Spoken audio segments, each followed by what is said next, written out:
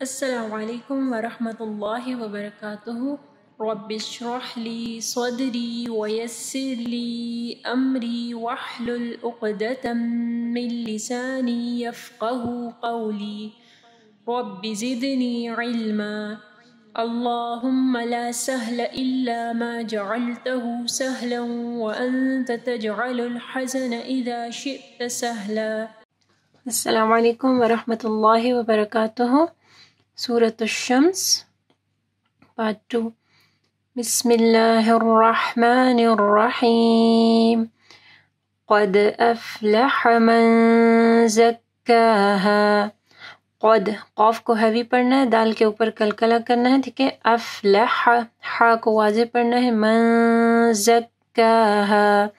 نون ساکن کے بعد دیکھیں، زا ہے، ٹھیک ہے؟ تو یہاں پہ اخفا ہونا ہوگا۔ من زک وقد خواب من دساها وقد، یہاں پہ بھی دیکھیں قوف کو ہیوی پڑھنا ہے، دال کے اوپر کلکلا کرنا ہے خواب من دساها یہاں پہ بھی دیکھیں، نون ساکن کے بعد دال ہے، تو دال جو ہے اخفا حروف میں سے ہے، تو یہاں پہ اخفا غنہ ہوگا۔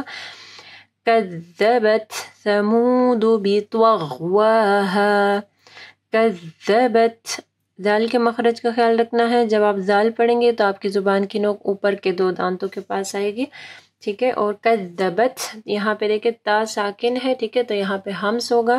دیکھیں جب ہم لوگ کذبت پڑھتے ہیں نا، تو آپ نوٹ کریں آپ کی زبان کی نوک اوپر کے گوش پہ لگتی ہے کذبت ٹھیک ہے؟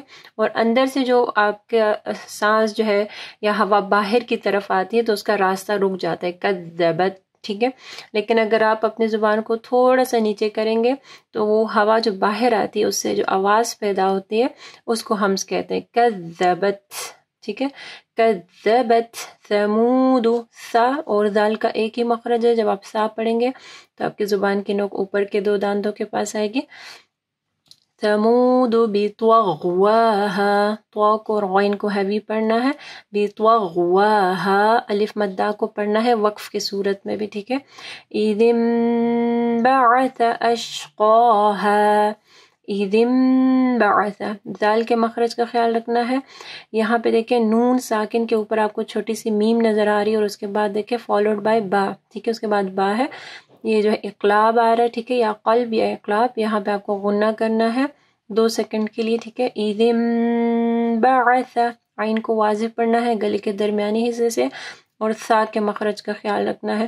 اشقاها قوف کو جو ہے ہیوی پڑھنا ہے، ٹھیک ہے، اور الف مدہ کو آخر میں پڑھنا ہے۔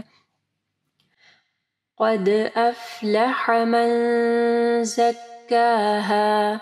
وقد خاب من دساها كذبت ثمود بطغواها إذ انبعث أشقاها.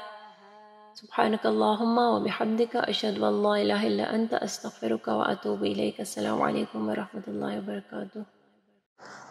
اگر آپ کو یہ ویڈیو پسند آئی ہے تو ویڈیو کو ضرور لائک کیجیے گا، اس سے ہماری اور ہمارے پیچھے کام کرنے والی پوری ٹیم کو حوصلہ افزائی ملے گی جو آپ تک پہنچانے کے لیے بہت محنت سے کام کر رہی ہے۔